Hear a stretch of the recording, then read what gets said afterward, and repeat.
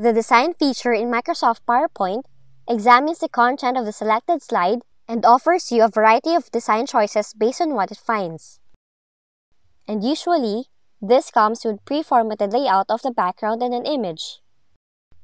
But if you found a design that you would like to use, and you are looking for a way to change the background color in the slide suggested by the design ideas, here's a quick solution that you can try.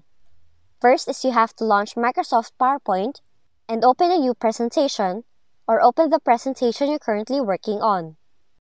And here we have a sample presentation from the Design Ideas option. Now to change the slide background color, go to the Design tab and then select Format Background. A right pane would appear, select Solid Fill, and then choose a color. You can choose any color based on your liking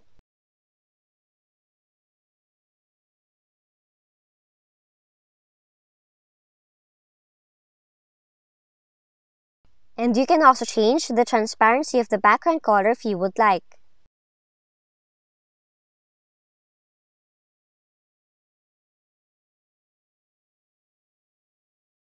And with that, you have changed the slide background color in Design Ideas in PowerPoint. If you found this video helpful, kindly like and subscribe. You may also click and turn on the notification bell so you can be notified from whenever we release new videos.